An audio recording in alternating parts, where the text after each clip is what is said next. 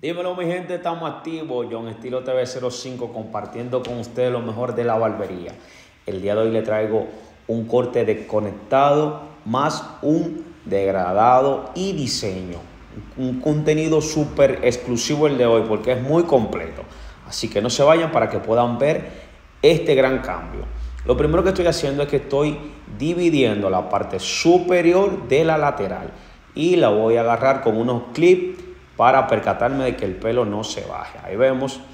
Primero voy a empezar con la guía número 3, pero voy a cortar hasta esta zona que está pasando el peine.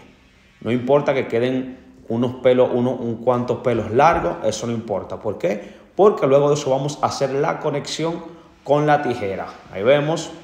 Por eso estoy cortando hasta esta parte, para poder hacer una buena conexión y poder hacer lo que quiero con la tijera para que mi corte quede bien conectado a la parte superior y lo lateral. Ahí vemos. Ahora voy a proceder con el peine uno y medio. Ahí vemos el peine blanco. Y voy limpiando toda el área del degradado. Si se pueden dar de cuenta, si pueden notar, estoy dejando los pelos largos que le dije que no iba a cortar para conectarlo con la tijera. Si estás viendo este video, dale like, comenta y compártelo con un amigo para que no se pierda todo el contenido. Ahora voy a conectar los laterales con tijera. Ahí vemos. Y solo voy a cortar todo lo que sobra. Ahí podemos ver. Voy cortando, voy uniendo. La línea queda un poquito pronunciada, pero eso lo vamos a conectar mejor con la entresacadora. Ahí podemos ver. Y hoy le voy a, mostrar algo nuevo. Ahí vemos, estoy conectando, estoy cortando todo lo que sobra. Y luego de que ya tengo toda esa área cortada al mismo nivel, voy a ir secando para poder unir bien. ¿Por qué? Porque casi siempre le cortamos el, el pelo al cliente y luego el cliente dice, no, mira, la otra vez no me quedó bien conectado. ¿Por qué? Porque cuando se seca se ve de otra forma. Entonces, luego de que el pelo está seco, ahí sí podemos ir devastando, podemos ir entresacando, puliendo bien con la entresacadora para ir conectando. Miren cómo va, cómo se va conectando, cómo va encajando. Es increíble. Ahí vemos. Poco a poco, miren cómo se conectó. Ahora voy a, ahora voy a proceder donde terminan las cejas y voy a hacer mi línea guía del degradado. Suscríbete al canal, dale like a este video, comenta, compártelo. Gracias por los 100k. Estoy esperando la placa, ya la, ya la, pedí y desde que, la, desde que la tenga en la mano voy a hacer un video y un concurso. Ahí podemos ver, estoy limpiando toda el área del degradado para poder pasar la navaja sin comprometer mi degradado. Ahí vemos, ahí podemos ver, limpio bien, poco a poco. Y ahora voy a empezar con mi degradado. 0,5 palanca totalmente abierta. Ahí vemos. Y voy a dejar un dedo de distancia para comenzar con mis tonalidades. Luego voy a empezar con el 1 y le voy a dar en la línea y voy a proceder eliminando y conectando a la misma vez. Esto lo puedo lograr utilizando lo que es el cuchareo combinado con el muñequeo. Ahí podemos ver. Miren cómo se va conectando.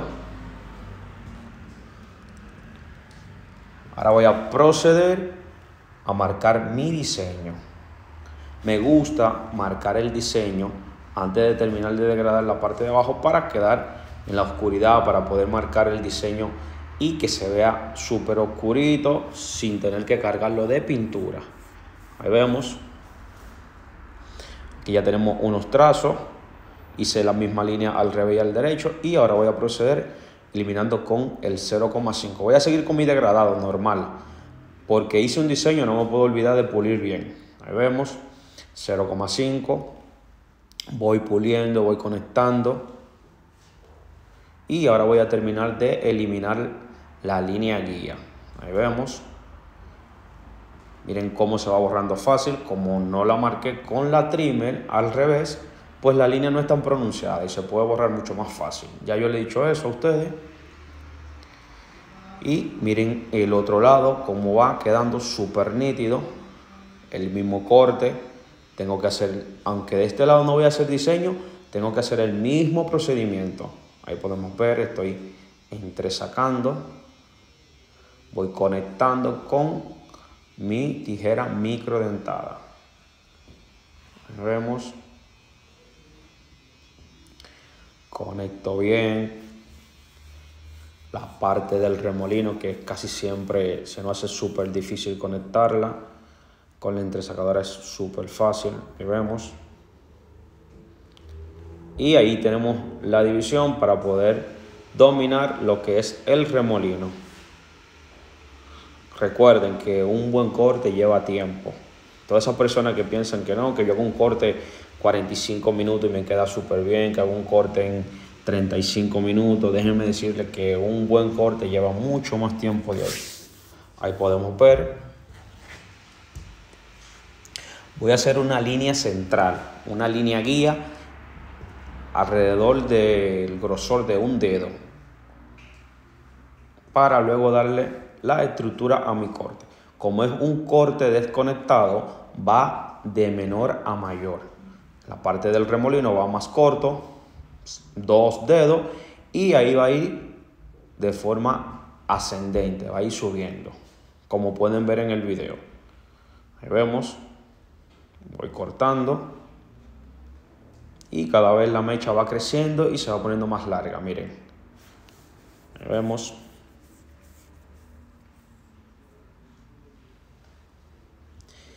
Y luego de eso procedí cortando, ya ustedes saben cómo. Y ahora voy a conectar la parte de los laterales. Ahí vemos todo lo que sobra. Y miren cómo se conecta, nítido.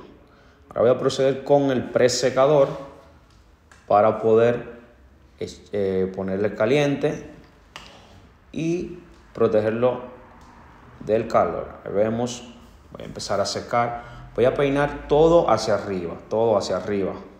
Como el peinado es, desconectado y va peinado hacia arriba, voy a empezar a, a secarlo hacia arriba. Suscríbete al canal, dale like, activa la campanita de las notificaciones.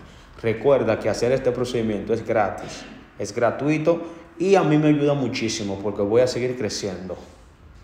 Gracias por todo el apoyo, estoy sumamente feliz por la aceptación y ustedes saben que yo siempre voy a tratar de subir videos, siempre saco mi tiempo para ustedes porque ustedes también son parte de la comunidad y me han ayudado muchísimo. Ahí podemos ver, voy secando.